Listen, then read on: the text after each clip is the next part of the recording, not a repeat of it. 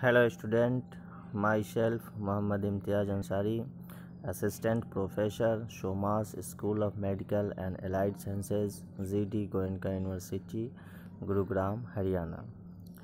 Today our topic is radiographic terminology. Learning objectives to understand the anatomical terminology, to understand the positioning terminology, to understand the rotational terminology.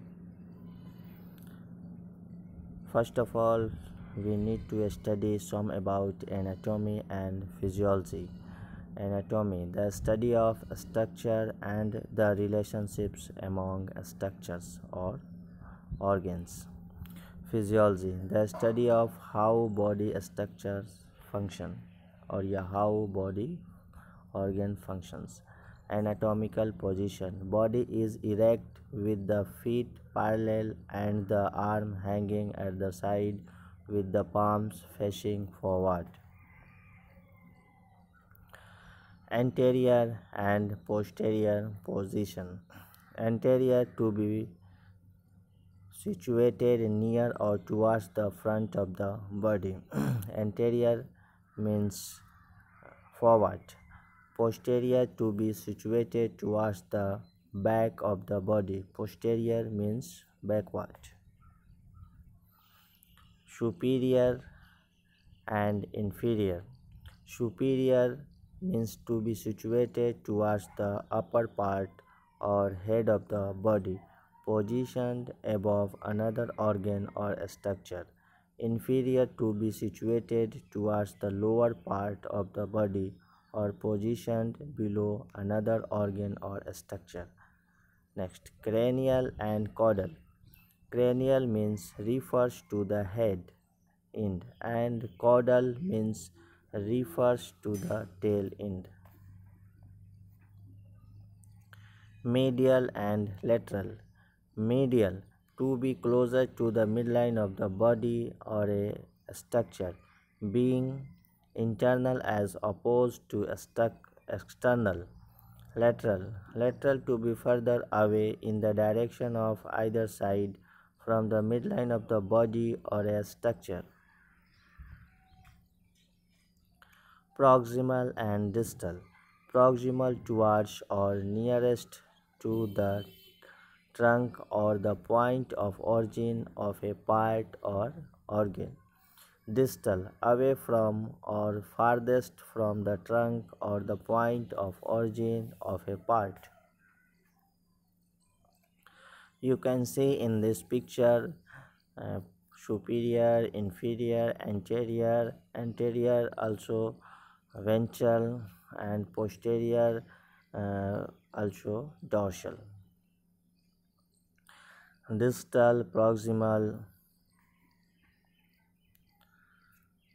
Next, unilateral, bilateral. Unilateral means one side, bilateral means on both sides. Superficial and deep.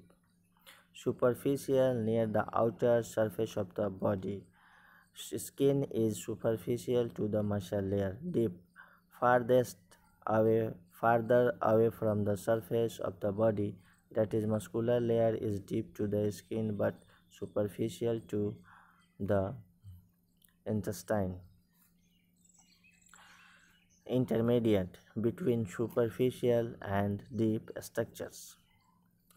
That is the navel is intermediate to the uh, the left arm and the contralateral right leg.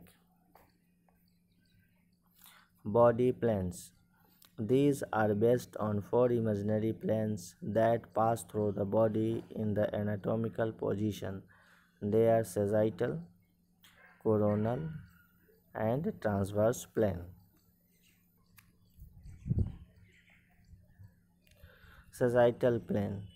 It divides body into right and left halves or parts.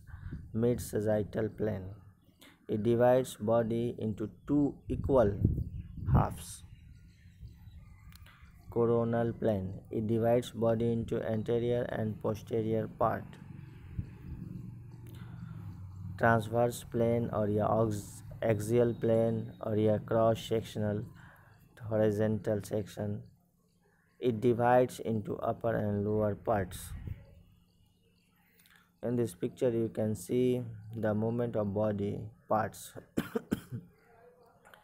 flexion, extension of elbow joint and flexion and extension of knee joint.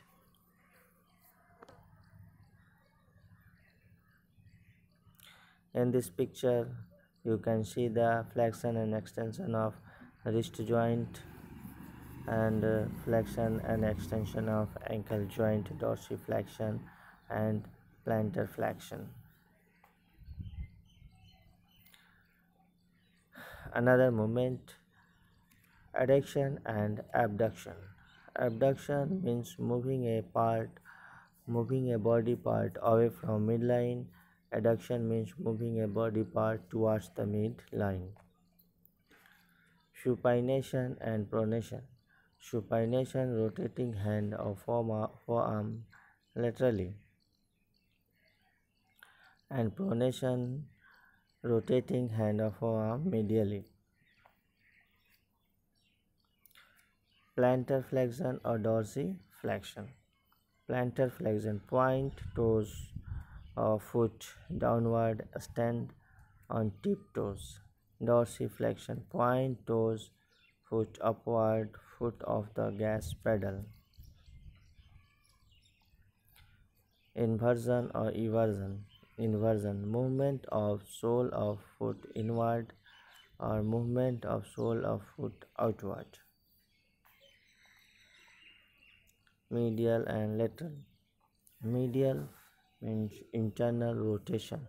Anterior surface move towards midline. Lateral means external rotation. Anterior surface move away from the midline. Protraction and retraction.